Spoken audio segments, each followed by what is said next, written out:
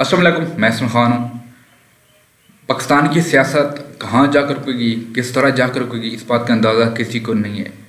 और मुल्क पाकिस्तान के जो मिडिल क्लास लोग हैं, जो लोअर मिडिल क्लास लोग हैं, उनकी क्या सूरत हाल है, इसका अंदाज़ा भी किसी को नहीं है, ना किसी ने इस बात की जानने की कोशिश की है।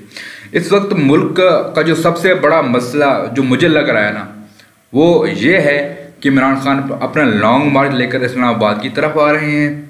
दूसरी तरफ़ जो हुकूमत में बैठे हुए लोग हैं, वो लोग ये सोच रहे हैं कि किस तरह इमरान खान के लॉन्ग मार्च को रोका जाए और किस तरह उनको इस्लामाबाद के बाहर इनको दबोच लिया जाए।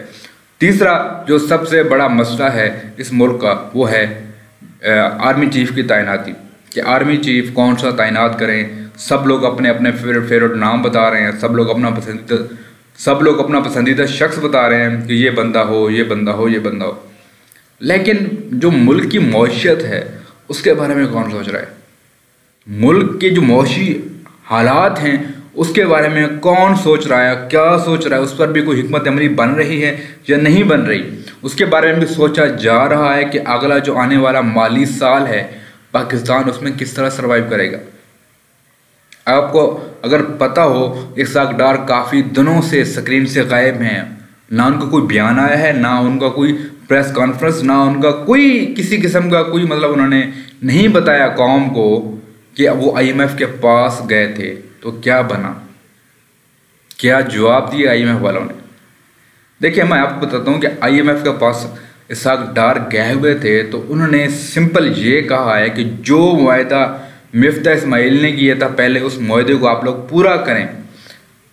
उन्होंने सख्ती से कहा है कि आप लोग माहे को पूरा करें। उसके बाद ही जो आपके और की इमदाद हम दे सकेंगे तो देंगे। लेकिन आपने जो माहा किया था, उसको पूरा करना। और वो माहा क्या था? बिजली के बिलों में इजाफा, पेट्रोल में इजाफा, ये वो सारी शराइ थी जो इन्होंने पूरी करनी है। अब मैं आपको ये बता दूँ कि पाकिस्तान को अगले साल के लिए तेईस अरब डॉलर दरकार है अपनी मीशत को चलाने के लिए, अपना मुल्क चलाने के लिए। और सवाल यह है कि तेईस अरब डॉलर पाकिस्तान को कौन देगा और क्यों देगा? क्योंकि जो पाकिस्तान की इंस्टेबिलिटी है, उसको देखते हुए ना कोई इन्वेस्टर पाकिस्तान में आ रहा है, ना कोई पड़ोसी मुल्क पाकिस्तान की मदद करने को तैयार है और ना कोई वैसे इनकी इमदाद करने को तैयार है।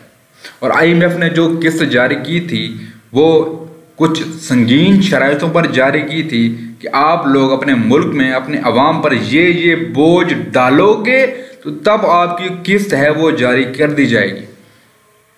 ये तो हो गया एक तरफ़। अब आ जाए पाकिस्तान की जो इस वक्त इकोनॉमिक कंडीशन है, वो कहाँ पे खड़ी हुई है? जो सबसे ज़्यादा इम्पोर्टेंट है। देखें, पाकिस्तान दिन ब दिन दिन ब दिन जा रहा है डिफ़ॉल्ट के करीब। कोई न्यूज़ चैनल इसको कवर नहीं कर रहा कि पाकिस्तान कहाँ जा रहा है। कोई एंकर आपको ये नहीं बताएगा कि पाकिस्तान किस तरफ़ जा रहा है। पाकिस्तान के डिफ़ॉल्ट करने के चांसेस 70 से बढ़कर 75 परसेंट हो गए हैं और आगे आने वाले 10, 15 या 20 दिन मतलब अगले आने वाले दो तीन हफ़्ते बहुत ज़्यादा इम्पोर्टेंट हैं। इतने इंपॉर्टेंट हैं कि खुदा ना खास्ता ये मुल्क डिफ़ॉल्ट भी कर सकता है। ये मुल्क डिफ़ॉल्ट भी कर सकता है। ये जो इस वक्त हुकूमत में बैठे हुए लोग हैं, ये पता नहीं क्या सोच रहे हैं और क्या कर रहे हैं, मुझे इस बात का अंदाज़ा नहीं है। बल्कि इस बात का मुझे अंदाज़ा है कि जब इमरान खान लॉन्ग मार्च लेकर इस्लामाबाद पहुँचेंगे, इनकी हुकूमत टूटेगी और जो नई निगरान हुकूमत आएगी, वो ऐलान कर देगी कि हमारा मुल्क डिफ़ॉल्ट हो चुका है।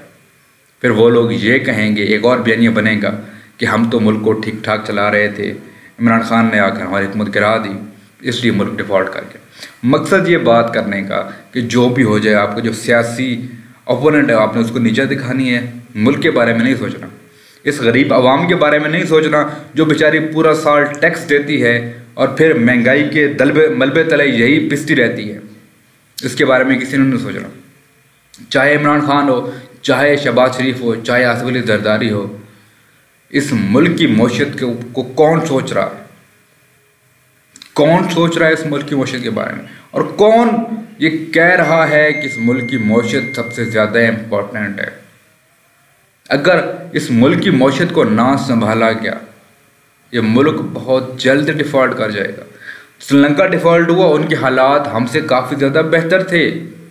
उनके हालात हमसे काफ़ी बेहतर थे, लेकिन वह फिर भी डिफ़ॉल्ट कर गया। और हमारे हालात, पाकिस्तान के हालात तो बहुत ज़्यादा बदतर हो चुके हैं। नई सर्वे के मुताबिक, नई रिपोर्ट के मुताबिक, पाकिस्तान के 75 परसेंट चांस हो गए हैं डिफ़ॉल्ट करने के। करीब होते जा रहे डिफ़ॉल्ट के। मैं रिपीट कर रहा हूँ कि आगे आने वाले दो से तीन हफ़्ते पाकिस्तान की मीशत के लिए बहुत ज़्यादा इम्पोर्टेंट हैं। बहुत ज़्यादा इम्पोर्टेंट हैं।